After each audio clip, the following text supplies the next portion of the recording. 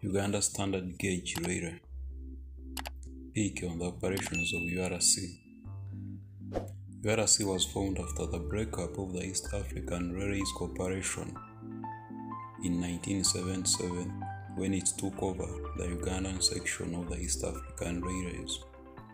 In February 2015, Rift Valley Railways with KCCA began testing commuter passenger rail service in Kampala Metropolitan, aiming to establish regular services in March 2015. Those services were temporarily discontinued after RVR lost its concession in Uganda in October 2017. However, when Uganda Railways Corporation took over the operations of the meter gauge rail system in Uganda in 2018, the service was restored in February. The passenger train operates four trips during working days from Namanve to Kampala with stops in Nakawa, Mubs, Spedag, Chireka, Namboole, and Namanve. Uganda Rail Network has a total length of 1,266 kilometers.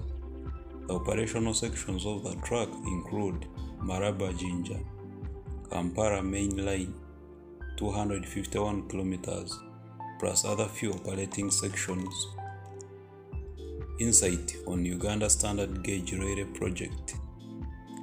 This is a planned railway system linking the country to the neighboring countries of Kenya, Rwanda, DRC, and South Sudan as part of the East African Railway Master Plan. The new standard gauge railway SGR is intended to replace the old meter gauge railway system. The SGR system plan consists of four sections. Malaba Kampala section. This stretches from the border of Kenya at Malaba through Tororo and Jinja to end in Kampala at a total distance of approximately 219 kilometers. Tororo Gulu section. This section extends from Tororo through Mbale and Lira to Gulu at a distance of approximately 367 kilometers. From Gulu, one spur will continue north to Elegu through Nimule to Juba in South Sudan. The section in Uganda measures approximately 106 kilometers. Another extension stretches from Gulu southwestwards through Pakwachi to end at Gori at the border with the DRC, a distance of approximately 187 kilometers. Kampara Mpondwe section. This section starts in Kampara and passes through Bihanga in Ibanda district, continuing on to Mpondwe at the border with the DRC at a distance of about 430 kilometers. Bihanga Mirama Hill section. This section stretches from Bihanga through Ibanda and Mbarara, ending at Mirama Hills at the border with Rwanda at a distance of about 191 kilometers.